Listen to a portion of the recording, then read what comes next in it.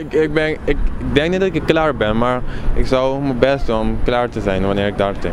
Waarom denk je dat je nog niet klaar bent? Want iedereen blijft hier en ga alleen.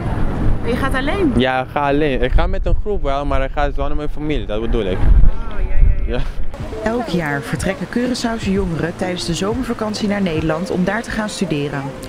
Vanaf het vliegveld worden ze uitgezwaaid door familie en vrienden.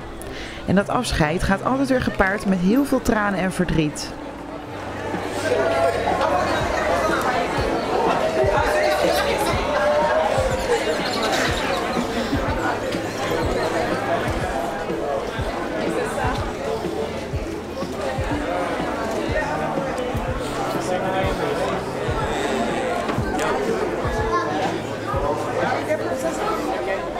Washington, New York, Hawaii, Amsterdam.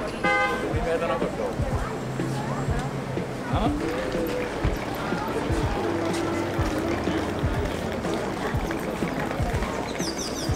De jongeren hebben zich allemaal op hun eigen manier voorbereid. Ja, ik heb heel veel informatie opgezocht over hoe het is en boeken gelezen.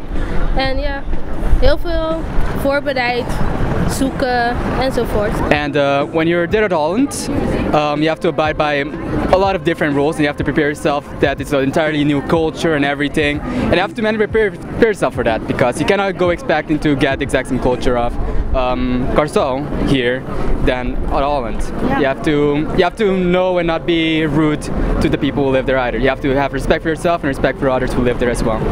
En, en, en wat ga je studeren in Nederland? Ik ga vliegtuigonderhoud studeren in Zwolle. En what study are you going to do? I'm going to study um, data science and AI. Verpleegkundige bij Fontis, Eindhoven. Ben je van plan om terug te keren naar het eiland als je klaar bent met je studie? Eh, ik weet niet zeker, ik moet even bedenken.